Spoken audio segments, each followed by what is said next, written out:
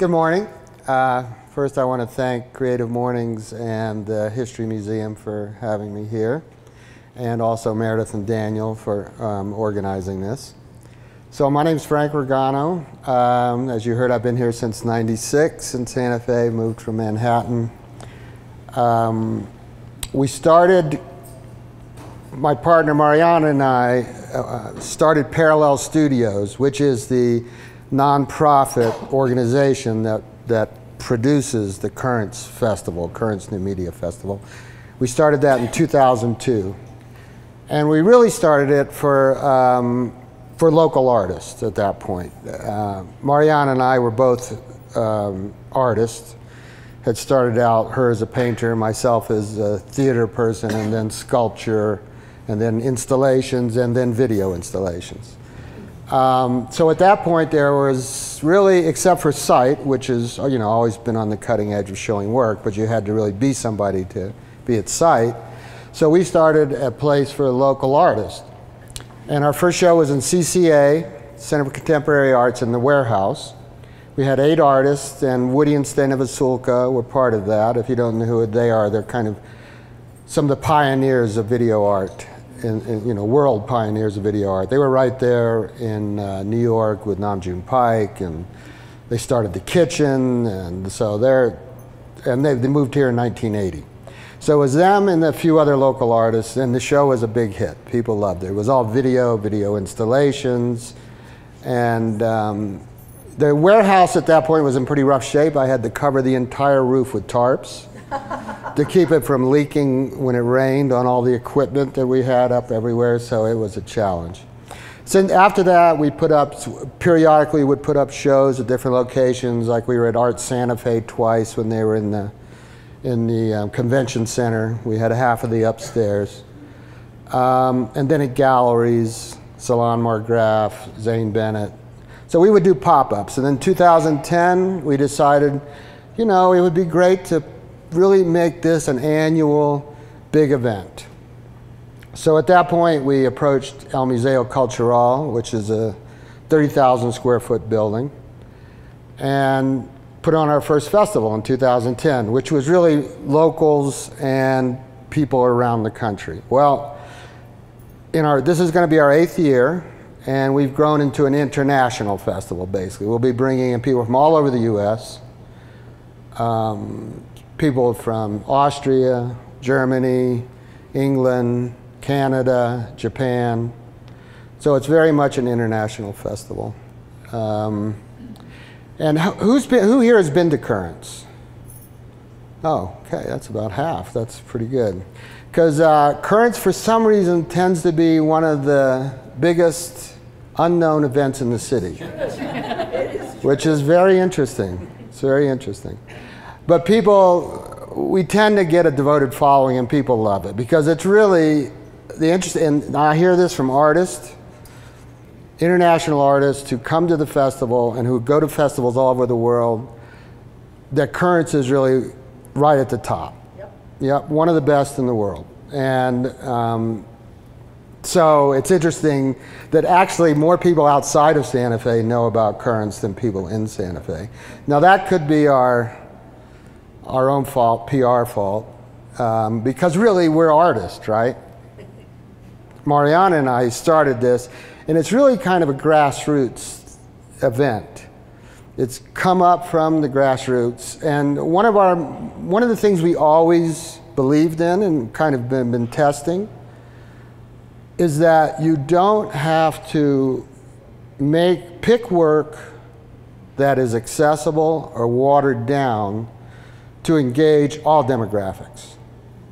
You know, you don't have to go, okay, well, let's dumb this down a little bit and then everybody will get it.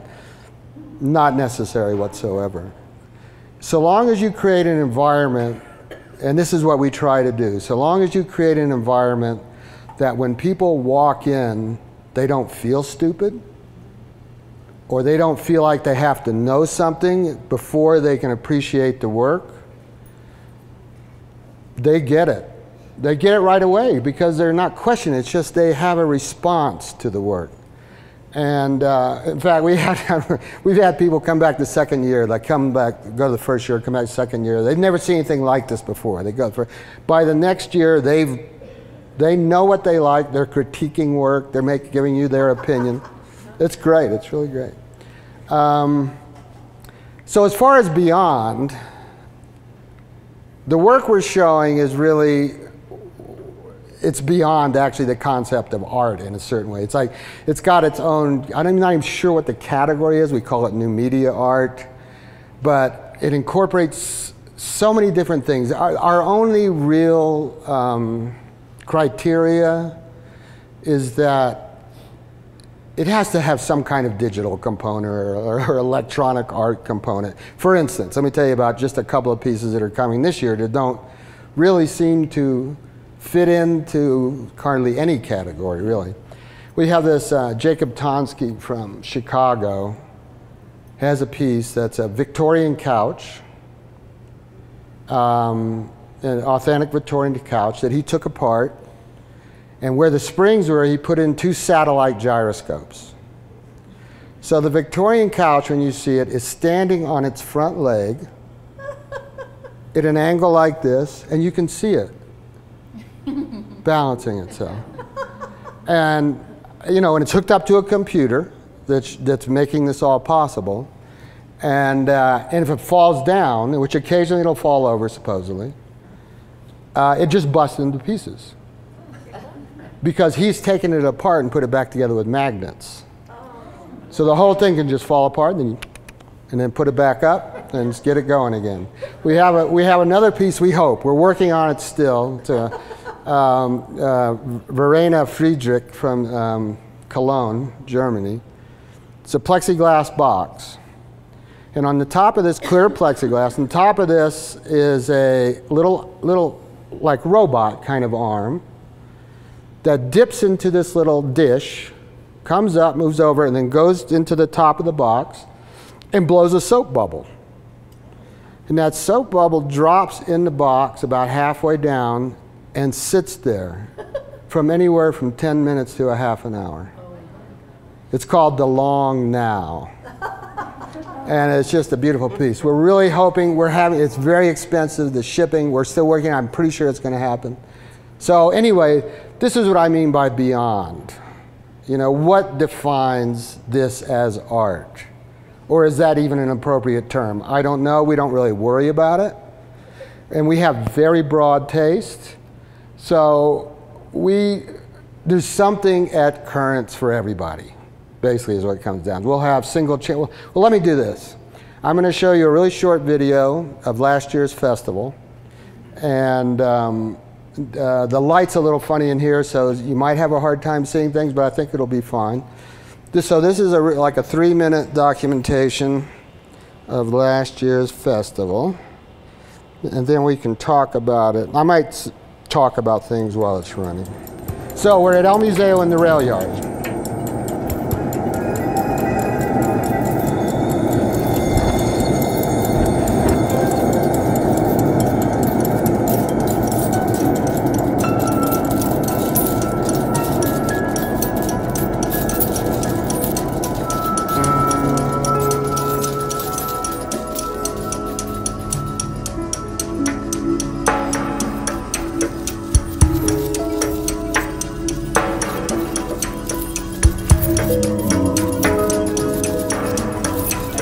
They're hooked up to muscle stimulators. There's somebody playing them.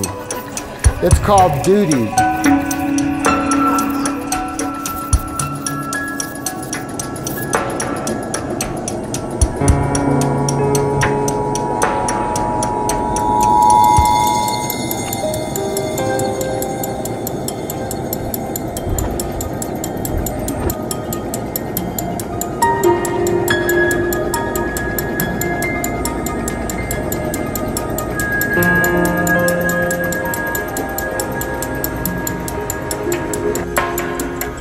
VR, the latest. We have like seven, six VR pieces this year.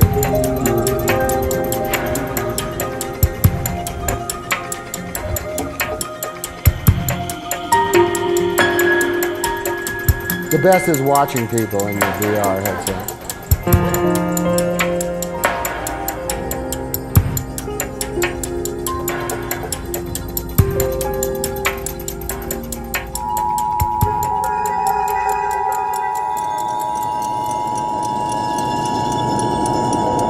That's an augmented reality piece. We also have performances that go on.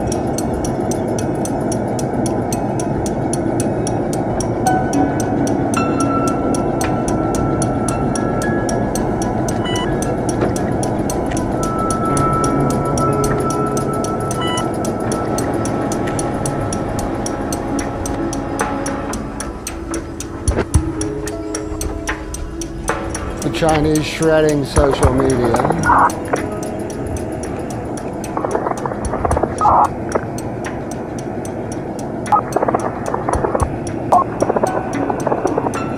This represents, this piece is very much, which I'll talk about afterwards, about interactive work, which is really one of the biggest things happening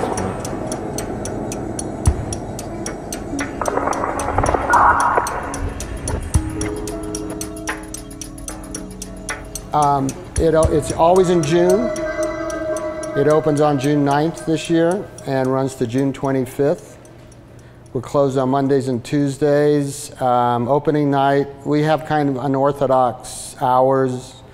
Uh, Monday, opening night is from 6 till midnight, and there'll be outdoor um, installations and music. Um, uh, it's like the opening weekend will be open from like 12 to midnight on Saturday, uh, on Sunday, and then our typical hour time is noon till 7. But you can find all this on our website at currentsnewmedia.org. Um, opening night, we usually have 2,000, 2,500 people there. So it's a big party, and there's some food, and there's a bar, and it's a great time. Um, but let me talk about really how the work we've seen in our in our period. Where what time have we got here? Let me see. I'm good. Okay. Um, how work is as one of the things about the media arts is they're constantly because of technology and the development of technology and the speed at which it is being developed.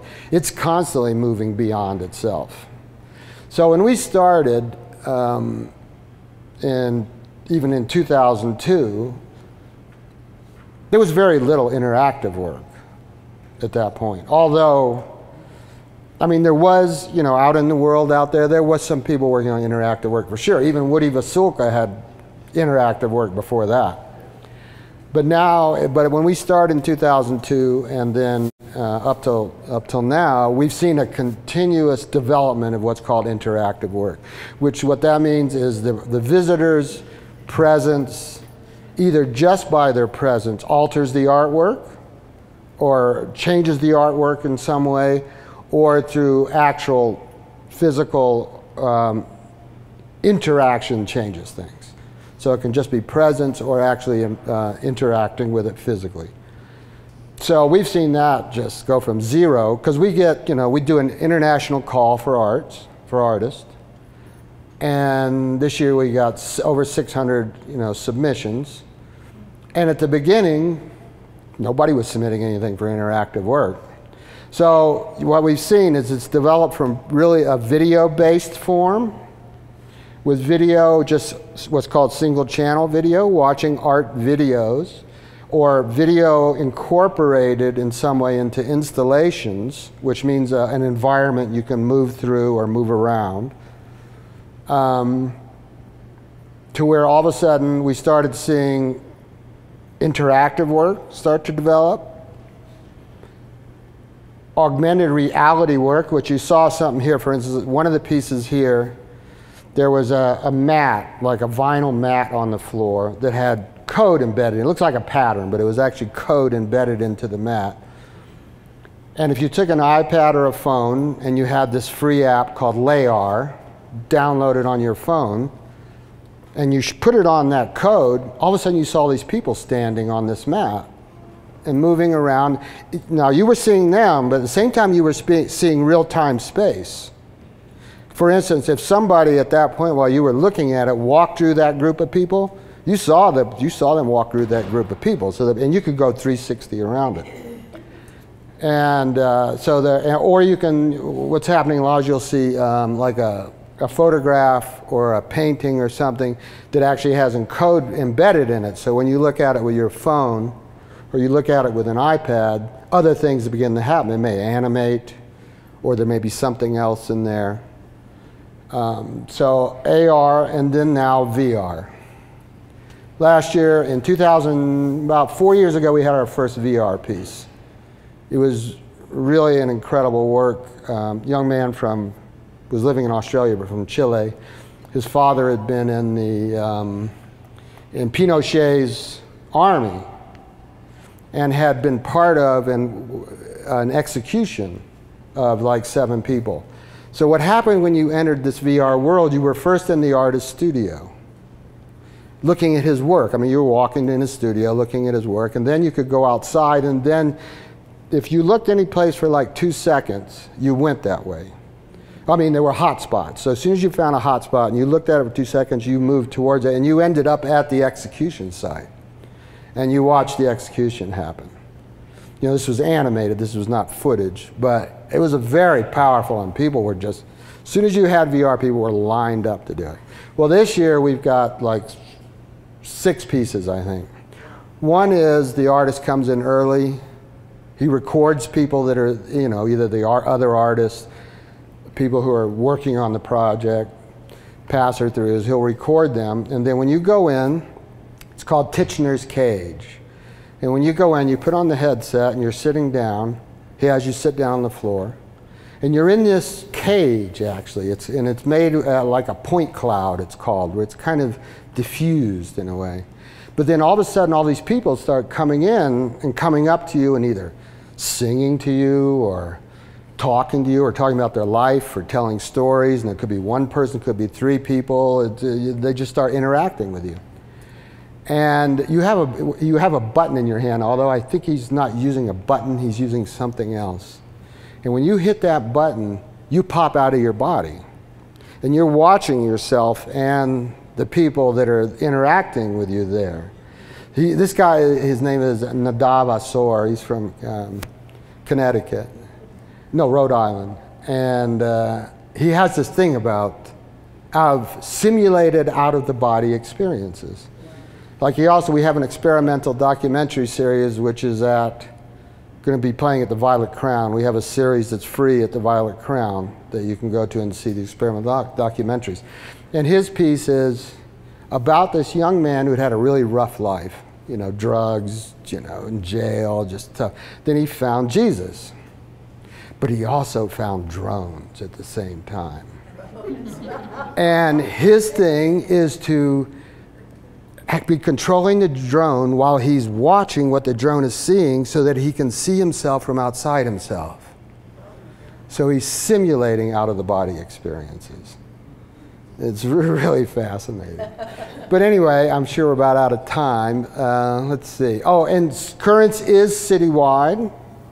You know, we're also, besides being at El Museo, we are, Meow Wolf is a partner. They're going to have a concert at uh, Meow on the second weekend.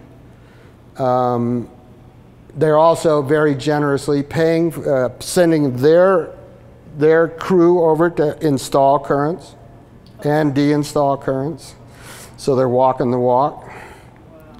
And uh, we're also at Foreman Concept Gallery. There'll be an element there. At uh, Axle Contemporary is involved. Um, let's see, who else is involved? Uh, Santa Fe University of Art and Design on opening weekend will have stuff in the plaza, we think, although they seem very in flux at this point. So that's not quite clear, but usually they're involved. Um, so Violet Crown, like I said, is involved. But all this, there's a very elaborate schedule that goes on and on on, on our website, currentsnewmedia.org. Also, by next week or the week after, you can download an app to your phone, which is free. And that app will have the whole schedule, all the artists that are going to be there, links to the artist's work. And it'll also have what we have at the festival is that every artwork is a beacon, this little thing on the wall. So with that app, if you have it installed and you have your Bluetooth turned on, when you walk up to a piece, it'll immediately pop up who the artist is, tell you all about the artist, the work. You can link to their websites. So it's your guide through, through the festival. Um, please come. I guarantee you, you will enjoy it. Yes. I, I think the most amazing thing is this is the best show I've ever seen, and it was free. I don't think you even mentioned that. How do you do it? Well, I'm a little hesitant to mention that because um, we are having uh, serious financial problems given the current climate um, in the U.S. and our future is.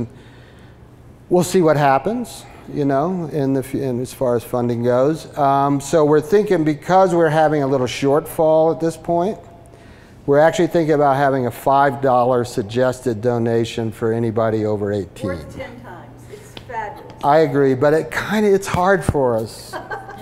we don't even like to put that on there. Yeah. We have to basically we have to make up $20,000 shortfall at this point. So we're thinking about doing that. And it's really tough for us. Cuz our whole thing is being uh, cuz we get all demographics there. And that's what we want. And we want lots of kids, we want families. We get everything from people who are working class families who've never seen anything like this before to art snobs. I mean, we get the whole, the whole gamut, and that's how we want it to be. And the important thing is we do not in any way tailor the art to the crowd. We just pick what we like, and we have very broad taste, and people love it. Let's do some questions real quick. Um, anybody got any questions? Do you judge the pieces? You mean like for a prize at the end? No, we're kind of not in. I mean, you know, we're we're idealists, and that is not a very successful way to do things.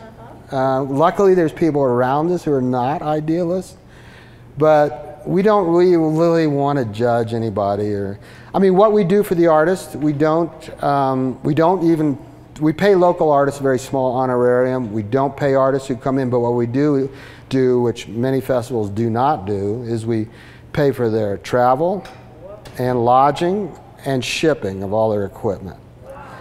And that's a big number.